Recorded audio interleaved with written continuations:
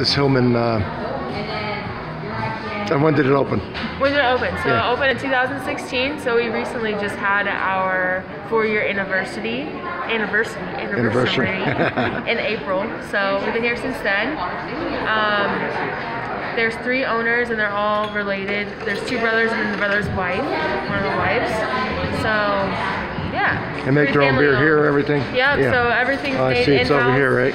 Everything's made in-house. We have another location out in Old Fort, which is like 20 Huh. minutes away, so it's not too bad. And what am I getting a flight? And what are you giving me today? So I'm giving you the turn down for what, which is going to be the Helles Lager so far, and then the Hill and Oats, which is an oatmeal stout.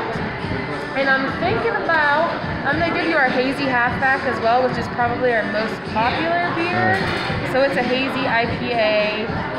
Um, it's a New England style, has those citrusy tones in there. And what kind of beard I tell you I like? Like everything. he doesn't spit it out. You're right. Um, So, I'm gonna give you the bearded flowers. all right. And I'm gonna like it, ain't I? Yeah. Gonna love it. You're gonna love it. All right. All right. Get I'm excited. started. Thanks. You're set. Take a peek around this place. Also get uh, pretzels and cheese and uh, the pizza. Yeah.